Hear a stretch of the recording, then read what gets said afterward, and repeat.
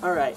Um, so right now, I guess I'm kneeling because I'm like thinking I'm gonna be decapitated if I'm standing, but I'm not because I positioned the camera that way. So, anyways, um, some of you guys have uh, forearm and wrist issues that you have voiced to me, and I want to go ahead and cover that really quick. Um, so forearms and wrists are a little bit funky, guys. Um, so as we talked about when we were talking about anatomy, we have uh, four classes of muscles that uh, go through our forearms, right? That are going to play into uh, the things that are going into our hands. We don't have a lot that goes into our fingertips that actually works on this. All this is happening down here at the wrist. We mostly just have tendons and little pulleys down here.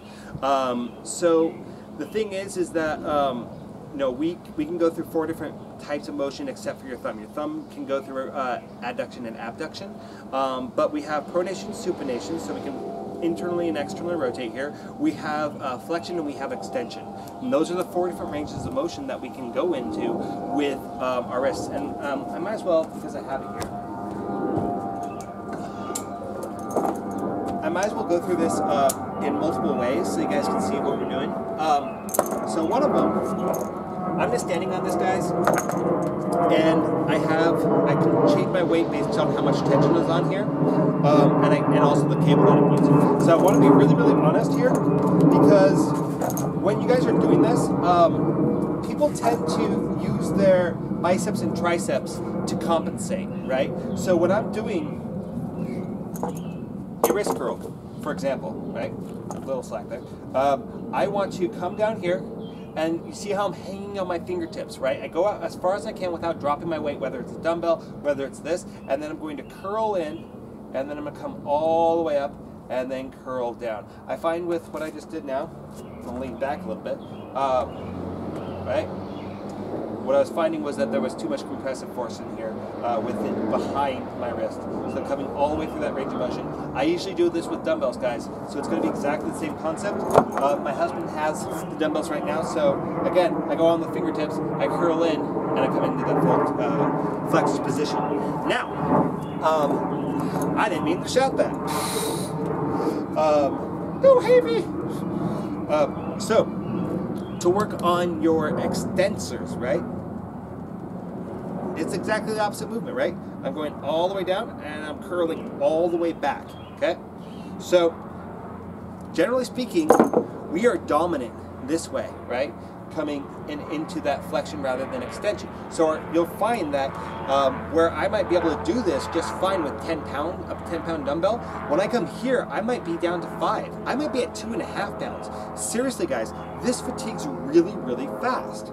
Now, your um, your flexors or your uh, supinators and pronators, guys, um, we're, we're going to do this way, okay? So again, I might actually just use the uh, the handle for the barbells. I'm to hold onto the threaded part. I'm not to even have any weight on here. You might put a two and a half uh, pound plate out here. You can use a bread roller for this if you have it. Uh, just because uh, it's not, these aren't particularly strong muscles that we're working here, but we can go through pronation, and supination. And the reason why I'm holding out here, guys, is that same issue with leverage, right? So this is the, the center of the wheel, this is the fulcrum. Out here, the heavier the weight is out here, the more torque I have to put in on this side. Um, we don't want to really, really overwork this too much um, as far as um, uh, how much weight we use. Again, this is not strong, and, and because of the length of this lever, guys, you know, uh, the longer the lever is and how further out the weight is, the more resistance I'm going to have. Now, you don't have dumbbells maybe. Um, so, what I might do, and I have to think about how I want to do this. Um, um, I think that the way that I would do this actually is something along these lines where I'm actually tying my band onto this, right? And the reason why I'm doing it this way, guys, is because I don't want it rolling down and snapping my hand. If I just have the ring on there, once I get vertical, I'm going to have issues. Um, and again, the other side you can dock however you want to, whether it's docked straight down, whether it's um, off to a pull. Um, you probably don't want to have a whole lot of lateral force into this, but I can have this guy underneath. Again, this is not very much weight. I just come up the center and come back out. Okay? And because it's an elastic, it's actually going to get tighter on there. And it's going to be less like the slide. So I'm working one side, right? boom. And again, you guys see that right here, my stick and my cord are pointing in the same direction. So I have no resistance on my pronator supinator here. Uh, in this case, it would be pronator, right? So, you know, it's limited, right? So if I was able to come out here more, aha, and I can actually feel that resistance is a lot more in that position. Now, right, same deal. Come out this way. Uh, I'm thinking about this wrong. So I'm here, here, it'd be further out this way, I think. It's funny when I, when I, so the thing is, is I usually do this with empty dumbbells. So it's not, this is, this is new to me, but I'm here, boom, to there, down, and there. Now, what about the rest of the range of motion? Well, I can hold it, right? Same deal. Now I, am getting that further range of motion. Um, I can do that on the cross side too. I'm gonna hold it a little bit higher up, right? So that I don't go into that parallel, right? And I can work that full range of motion. Um, so I can already feel everything's fatigued just from showing you guys that. Um, so I would not do this on a pull day. So right now our pull days are going to be Wednesdays and mixed in on Fridays. So this would be something that I would do probably on Sunday and uh, or Saturday, Monday, or something along those lines.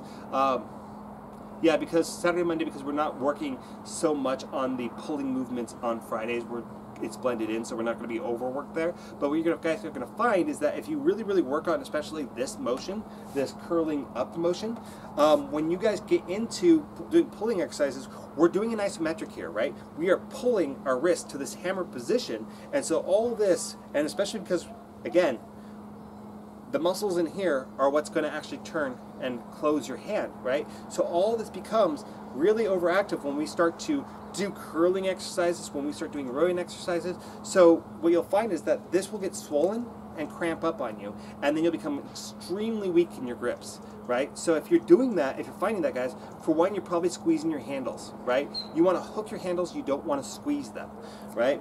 Um, you might be bringing your wrist into this curled position that's going to uh, keep you in that really, really shortened position. It's going to also put more leverage on that, right? If I'm in a neutral position, I'm just hanging on that joint, which I know I said don't do that, but because we're gripped, our muscle is taking that that uh, uh, weight there. But once I go here, guys, you see I've got a, uh, a lever here, and my line's going to be pulling out this way, so it's trying to pull my wrist back to this neutral position. Um, so if I'm doing this, I'm actually causing my forearms to work harder, and that's one reason why a lot of people find that their grips uh, give out halfway through their workouts. So we really want to be making sure that whatever wrist position that we're holding, we're keeping that nice and neutral. We're keeping that nice and strong. So um, I hope this is helpful for you guys. Um, if you guys are finding that aggravating, um, whatever's going on in your wrists or in your forearms, let me know. Um, if it's aggravating something in your grip, let me know.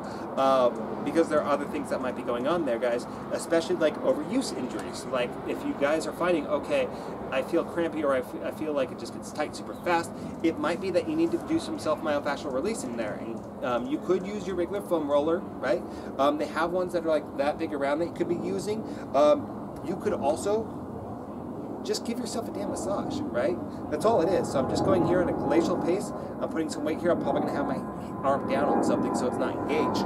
And I'm just kind of going through there and I'm pausing on any place that feels tight.